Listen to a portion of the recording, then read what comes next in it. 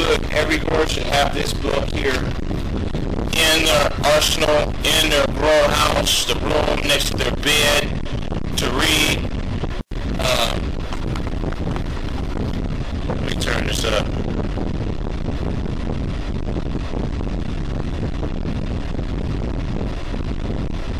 Everything's up. So like I said, everybody should have this. Um, go ahead and order you one. It'll get there in a couple days, about 20 bucks, and you can follow along. So we're going to go through chapters of this. Uh, we're going to go through situations of this. Um, I can't show you all the pictures. I might be able to fax them and add them into the video later. But the information is where it's at. Pictures only speak a thousand words until you get to the information that's behind it. Um, I thought about doing this because I've seen a lot of people that was misguided, um, got a lot of bad information about growing. So a lot of it's good information. We got a lot of veteran growers at the social. There's a lot of veteran growers on YouTube, all out there, different different uh, clubs. But at the same time, there's a lot of people that do promote on YouTube and don't give good information. So we're going to go straight from the source. One of the best teachers there has ever been uh, with growing this. Uh, so we're going to start with this. Um, I was terribly interrupted uh, on my show Sunday. Um, I was about halfway into it, and y'all couldn't see or hear me or something like that, so I had to switch it and I had to restart all over, so I lost the train of thought on what I was starting at. Um, so kind of give you a start over again um, where we can really sit down and get to business and do work. Um, today, I'm going to be smoking on some of my, my Great Kush. Some of this Black Series, you know. So we're to be smoking on that, talking. Uh, basically, um, episode 1, chapter 1, all begins with what? The seed. Um, so when I started talking last week, I started talking about seedlings versus clones. Um, there's nothing wrong with clones. You can get clones. Clones is a wonderful thing at times. If you're trying to train your plant, that one pound plant, you're trying to train it, um, you're trying to get the most out of it, you want to manipulate your plant the best way you can, I would suggest you start with seed because after the first week or two, you can go ahead and start topping and bending and shifting and moving any way you want to, but except with clones, they're already set off in their way. Yes, you can top it. Um, you can get more tops. Um, you're not going to be able to LST it and train it like you normally would because you could break it because it's not that very bendable. Um, depending on what size of the clones you get. Because uh, you can get little clones like this and you can train them. You get clones that are big. Now the reason why I said that is because I like clones to an extent because some of the strands that you get as clones, you get as seeds. Now the reason why I like clones because where I'm at, the availability of getting clone-only strands is available to me, which meaning certain strains like Arrow, UW, uh, Fruit Punch, which I'll get into on my next video that I have in there that you won't find nowhere. Um, it's from a clone-only strand, a reputable clone dealership because I and I have gotten into it before about people going in and just saying this is this and this is what it is, and you buy it, you don't know, and this whatever it is they say. Um, so no, there's no fan in front of me, y'all. But anyways, uh, I'll move it closer. There's benefits to it, you know. There's benefits to using regular seeds which you're going for if you're going for that male or that female um, plant you know if you're going for pollen or if you're going just to grow um, that's a wonderful thing um, regular seeds are strong seeds too depending if they haven't been BX'd or F1'd or anything like that but they're still wonderful genetics now when you're dealing with fem seeds you have a tendency to get hermaphrodite herm hermaphrodite hermaphrodite whatever it is traits because it does revert itself of the other sex and pollinate itself or you pollinate other plants now unless you use uh, a spray that will go ahead and make seeds um, So, with that being said, yes, it is a tendency to get a lot of hermaphrodites. But if you know what you're doing, um, you get you a stable strand genetics and follow instructions to what most companies what they have when you make pollen or seeds. You shouldn't have no problem at all. Um, so I'm sorry, I keep getting interrupted and it keeps throwing me off. People coming through the door. But anyways, like I was saying, if you do it right and follow instructions, you shouldn't have that much problem. Not unless the traits are in that strand. Um, a lot of us have had one of those strands, maybe that was hermaphrodite, hermaphrodite, hermaphrodite, just a dude, just a bitch dude, we're gonna call it. Um, we've all had one or two before, but you know the best way to do it is to follow, make take a strong strand and do it yourself, and that way you won't have that problem. Now I know I'm gonna get a lot of feedback about clones and seeds, um, but like I said, this is just my opinion. You know, you know, my opinion might not be nothing to another person or take it to a grain of sand. I'm just doing it because how I feel, you know, and, and my experiences with them. Now, hold up. Let's go ahead and ding. Let me light this up so I can get ready with y'all.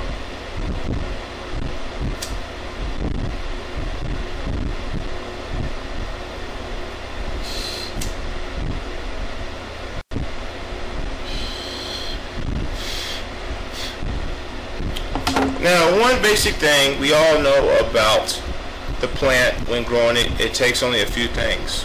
Water, a growing medium, and light. Now, when you pick any of those as your preference, um, I would like to say it's your preference, your climate, um, how your where your altitude is at, how's your air, how's your environment, all of that. So with that being said is you know, you might like cocoa. You might like hydroponic. You might like super soil. You know, all that is fine. You know, it's no problem with that. It's your personal personal preference with that. Same thing with nutrients. You might like organic based nutrient. You might like uh, chemical nutrient. Or you might like to go natural and just add water. You know, or you like to make tea. Um, so it's, it's, it's all up to and how you do it. But basically your plant needs to grow is the major factors. All, a lot of additives, adjectives um, that you add to your plants, um, thinking it creates more um, potency, it gives you more uh, trichomes or increases THC it's the genetics of the plant. You know, I know I see a lot of stuff it's, it's willing to try and see if it works. A lot of stuff don't. They get it, you know, to sell because, you know, we'll bite on it and uh, buy it, you know, hoping it will work. But nine times out of ten it don't. And, you, and if you don't know truly what's in it and you're pumping your plant with it, you're moving away from organic and all natural. You know, you're moving with adding synthetics and boosters to your plant. So, with that being said, try to stay as clean as possible with your plant. You think, you got to think now, marijuana is an all-natural plant. It grew in the wild, you know, with just water and it might not have been the most potent strands, you know, it might not have been what we got today, but it's a natural thing. Just add water. I know I'm not, you know, I run with, with it and say that, but is a key to it. You know, you just you know when you water your plant, even if you're using um, different stuff besides super soil, you just have to add water. Now it irks me and it kills me that people give good advice on adding this and adding that to their plant to do this, and then at the end result, when you look at their plant, it looks like shit, or it looks like it's halfway dead, or there's no crystal production, or it don't taste good, or it's not flushed all the way. There's always types of stuff like that. So be on the lookout, get you some knowledge, invest in some knowledge, learn about your plant.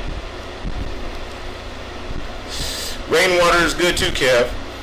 Uh, uh, I used to collect it much as possible, but now it's hot. I can't collect it, so you're right. Um, but that being said, know your plant. You know what I'm saying, and learn it. Um, and just learn from how it grows. And remember, when I show you this program, I believe it's called Grow Assistant. Um, I'll go look in there and show you. It'll tell you when you keep documentation of your genetics and you keep them all in there, you growing. Let's say you have a strand, it might not be yours, you're going to grow it out, you want to BX it, you want to grow it out again with this, you can log everything. Keep a good journal of your grows. That way you learn about your strand. You know, if it likes a, a lower pH and a higher pH when you water it. Does it like a starter dose of nutrients when you give it, or does it like a, a, a, a lighter dose, a more watered down dose? Um, does it like to be fed at night? Does it like to be fed in the day better? There's different things that you must learn about each plant. Now, I might have 10 different strands, 12 different strands in here, but each one grows differently. And with that being said, I have to know and learn and write down which plant likes which. I can't just go water them all the same way, same pH. I just can't go water them all with the same nutrients and they all like it. I can't, you know, do certain things to them because some react. Some you can kill off, some you can make sick, you can stress the plant out.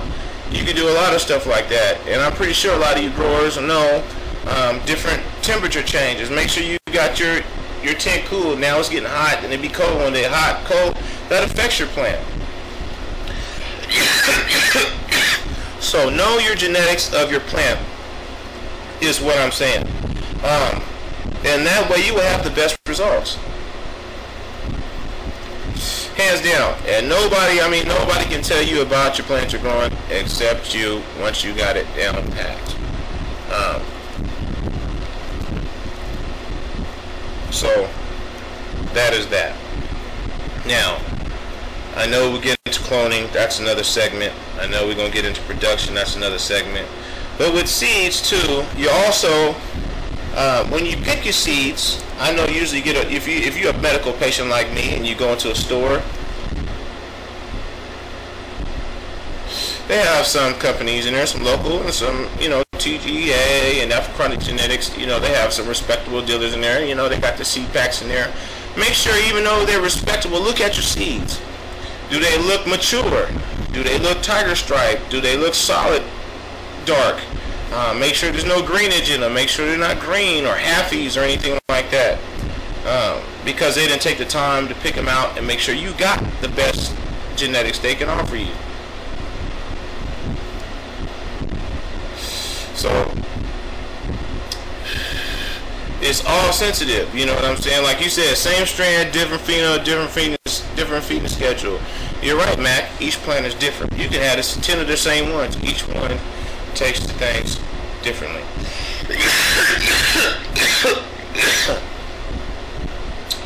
okay. Now, um, we're going to be talking about a lot in this book, and this is this is this is these shows are going to be every week, um, maybe 30, 45 minutes, hour, however long until I'm done with it. Um, this is separate than that's what's up show. This is class. So this is what I'm trying to help, like, cause I get a lot of questions. You believe it or not, I get a lot of questions on YouTube, uh, uh, uh mail, um, about different things, about different strands. Is they go on mine or they go on somebody else's? They got questions. Hey, what should I do? What should this happen? So we're gonna start this, and you know, the best way I can, I can help. I can help. But um,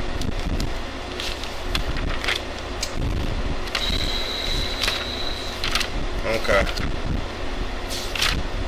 Now they got some here. I'm gonna get that to towards the end of it. How marijuana gets you high, cannabinoid receptors, legal cannabis, uh, frequency, secrecy setting, tempo with ECBC. I'm gonna get into all that about your brain, how it works, and all that afterwards. We're just getting into the plant now. Um, basically, what you need to know about the plant is there's two different types of plants. There's a male and a female, for those who don't know. Um, you have indica and you have sativas. And then you have hybrids, um, which usually base 50-50s. They can be 60-40. Um, indica, sativa, um, any different ratio until you get tested and find out. Um, that's what a hybrid is, is half and half. or not half and half, but it's both indica and sativa.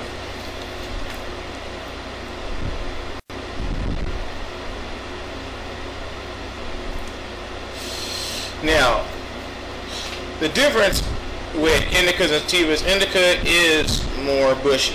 It's more of a plant with bigger fan leaves, thicker fan leaves. You look at the fan leaves, they'll have thicker leaves, they'll be more stout. Towards the sativa, will be more skinny, um, more lengthy. Uh, it'll be a tall Christmas tree type shaped tree. You'll you'll know a sativa more than indica. Indica is more beefier. Sativa is more thinner. Um, there's long stems in the, in the sativa than short stems with the indica. Uh, the sativa is more pale to medium green, and the indica is more dark green to purple. Uh, sativa is more sweet to spicy. Indica is more pungent, sticky, or fruity. And the difference that between indicas is six to nine weeks flower and sativa is usually eight to 15 weeks. And believe it or not, there's some high ones that are up there like that. Just think, you got to wait 14, 15 weeks to get some smoke, and you ain't even you ain't even cut it off yet and cured it.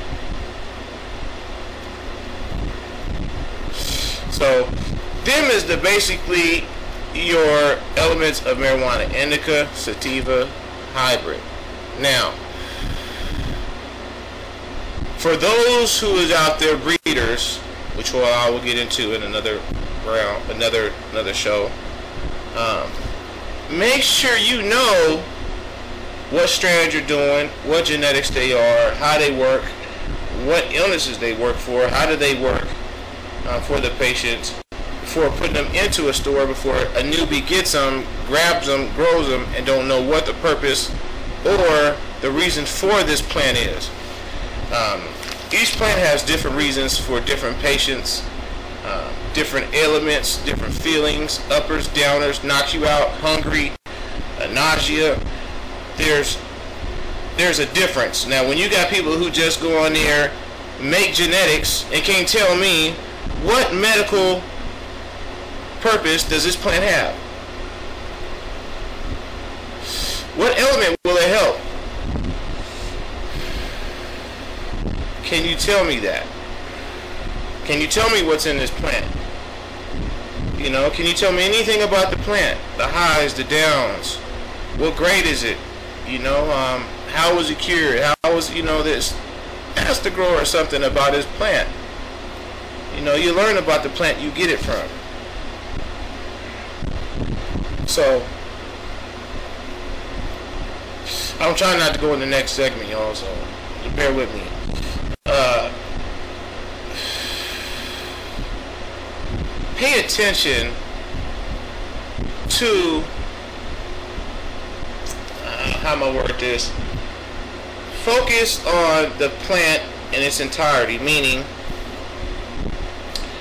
taking the time out, making sure you know the plant's watered, turning the plant, looking at it, any leaves dry, let me pull it off. Um, this one dried up any bugs, basic maintenance of the plant and your plant will survive if you consistently do that. Now with indicas that I've known about, the indica plant, when I go do my maintenance, they get a lot thicker. You know, it's a lot more bushier. You got to go through.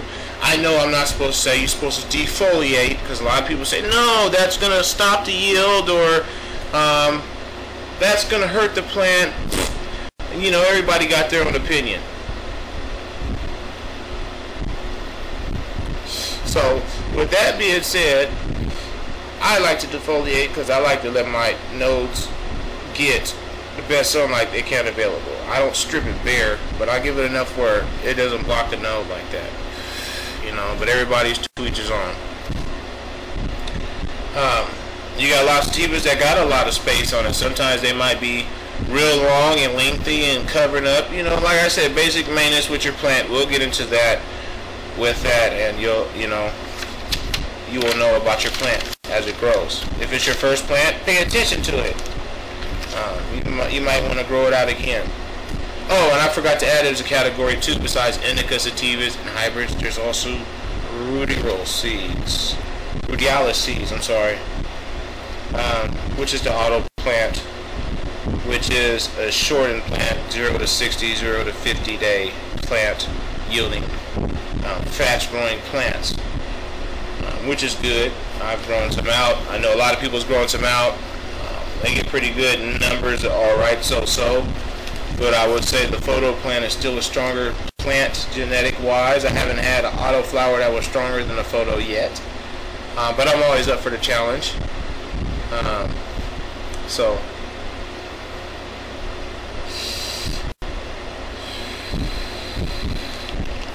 let me get this in here. Okay.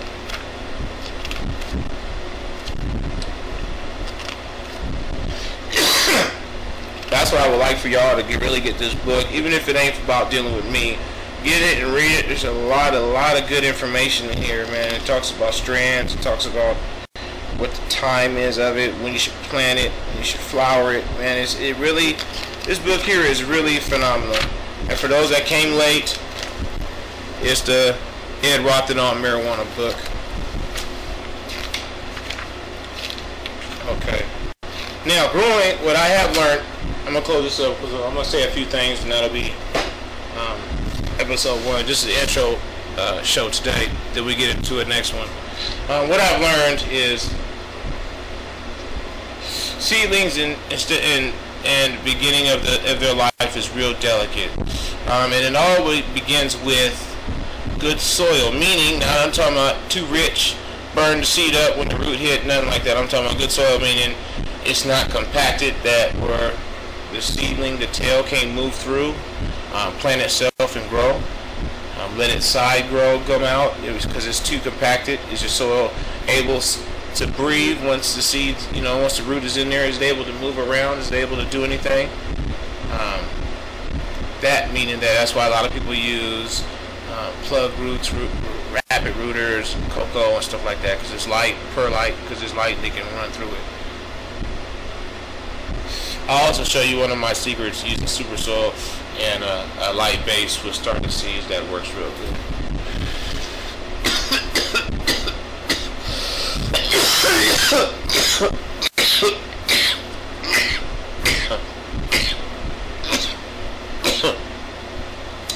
okay, now back what I was talking about. Now what I learned is if you got a lot of space, a lot of tent, a lot of lot of grow equipment to set up, use the lessest light blue spectrum spectrum you can for your babies, meaning like T5s, T8s. Um, if you're a little small, um, if you have like a small, um, I'm gonna say closet, little box or whatever like that, you know, you can use uh, CFLs. They're good for starters like that. You know, I've never flowered with them. A lot of people have and got some good results, and I, I wish them the best. Congratulations. Um, but me, I've tried to start with beans um, from from soil 400, 600, um, all back here. Some did good, some burnt up, some shriveled up so they came out because it was too hot, too too intense. The intensity was too bad for them. Um, some made it and some didn't. I lost a lot and I gained some. But the ones that I gained were stronger and uh, good genetics. But what I would say is starting them out, coming out of the soil, use a low lightage, like like CFLs, T5s. Um, I'm not I'm not an LED guy. I haven't grown with them yet. Um, things are in the works, but if you have a low, small wattage one, you can probably use them too with that. Um, so then, like I said, once that week, two weeks, and once they start growing their true sets of leaves, and then you see the little bottom, the little two brown leaves start to die off, or they start to turn brown, or however you see them, they not, they, you know, wilt up. Shoot them up under that 400, put them up in there, you know, and they will take off on you. You'll get a, a real good, strong plant, you know, because the way you want to grow it is progressive light change, meaning Progressive light change is meaning starting with a lower light, and each one you transfer it to or up it, it's a higher wattage, higher lumens, higher everything. So starting with CFL, you can go CFLs, T5s, T5s, 400, 400, whatever it is you want to grow with. See, like me, I started Um, some was under the 400, but then a lot I took out started under the T5s, and I bumped them up to now, which is the 400 in here. Then they'll move from the 400 to the 1000 watt in there. Then the last three weeks, I hit them on the 1200 watt, which is a setting on the ballast that gives me 1200 watts. So they get boosted the last few weeks of their life. But you, it's the progressive light change, and your plant likes that, it adapts to it, and it gets stronger, and it grows faster, and more vigorous, and more powerful, and stronger that way. If you have a plant that's growing with the same light through its whole life cycle, there's good things and there's bad things to that. You might not get the yield you want. You might have a beautiful plant and have some good bud. You might not get the yield you want. Um, you might not get the growth you want. You know, there's a lot of there's a lot of key factors into using the same light through your whole life cycle. That's why they say have a different light change every stage. Um, so with that, what else is what else am I leaving out with the beginning part? Um, daily maintenance, like I said, check your check your pH when you do it. Everything will be straight. When you always, I recommend the first three to four weeks of um, your plant using a good light. Uh, make sure if you're using new, it's not too heavy. If you use your normal, but dilute it a little bit. Um, there's only there's only a few things you should be doing to your plant. Either watering it giving it a tea or nutrient, um, feeding, or, or, organic, which is all water, and then you get in foliar spraying, which can be a light mixture of certain things, you know, whatever you like to use. Um, but I would go light always. I mean, you never really want to go full strength because you can burn your plant up if you don't know what you're doing. Um, stick with something light. Stick with something that's good as a foliar spray. Do your research and that can work too. There's nothing wrong with using two different ingredients as long as it works for you. And make sure you always want to use a test leaf or a test patch on your plant to make sure it's not burning your plant or your plant don't like it. You know, you make sure you want to get that. Um, basically, that's that's that's really what you want to do um, with that. Um, I'm trying. Let's say, okay, I'm not gonna I'm not gonna go on because I'm gonna go on to the second part. Um, basically, this is what we're doing. We're going to sit down one-on-one, me and the camera. We're going to drop some knowledge. Uh, we're going to answer some questions every week. After you see this video, if you have a question about the topic, put it on there. We're going to answer it. Um, there ain't no question answering today because there ain't no questions. And I'm going to answer every question. Um, this is not a show where we're going to do a bunch of giveaways. That's on my other show. Um, this here is basically informational only. Uh, and we're going to progress I'm gonna add my video, my update video to this um, session here so you can see how my plants look now. Um, next week when I do an update, you'll see how they look then, and then we'll get into that, talking about it. Um, so it's gonna be real fun tracking and, and watching progression um, of how this is gonna go. And me, I'm only just using water. Everything in here is 420 soil. There's nothing else in my tent. Um, so it's gonna be fun. And I encourage y'all to come. I encourage you to tell your friends sub. Um, there's not going to be a lot of problems over here, nothing. So we're going to have a good time. Um, I'd like to thank all my Social Grow uh, family for coming on and watching. All my YouTubians, as my boy Billy Yuba would say. Uh, all my TBC family. you know, one love, it's all good. Shout out to everybody who's on. Let's see who joined us today. We got Gimp, we got Kevin from MacBook, Cookies Mike, um, Booston's in the house, Gimp, Costa Farms, Genetics is in the house, uh, Green Clouds is in the house, Kevin, uh, Cyclops was in the house, Grassman is in the house. There's a lot of y'all in the house today. Medvet was in the house. Oh man, we got a full house today, y'all. You know, like I said, I thank everybody for coming out um, and help supporting this cause. We got some new things coming out. We're gonna be working on and talking about. Uh, Mr. Burks is in the house. What's up, Mr. Burks? Long time stranger. I didn't see you. I apologize. My bad. Um, know, so we're some fun. And everybody who's in the Washington area, because I got a few of those that's around here that I talk to. Um, I ain't gonna say no names because a lot of you know they don't want to get down yet unless they want to. Um, I, I talk to y'all. Everybody who comes to the Hemp Fest this year sees me. You'll see me with my custom shirt on, my uh, new D-Cernetics shirt that's gonna be made. I'll show you. Y'all can receive a shirt um, of the D-Cernetics line. Um, that's going to be going in the print shop this week.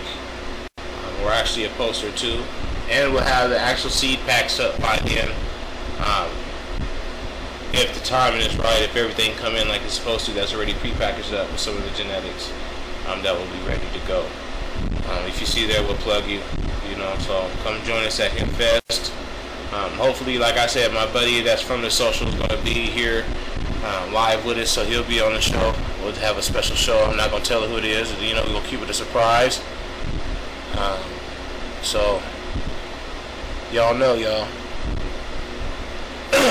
All right, y'all. Well, I'll see you next week, uh, probably around this time, uh, maybe a little earlier. So, uh, just look out for episode two. This is Growing 101 with D Stern. I'm out.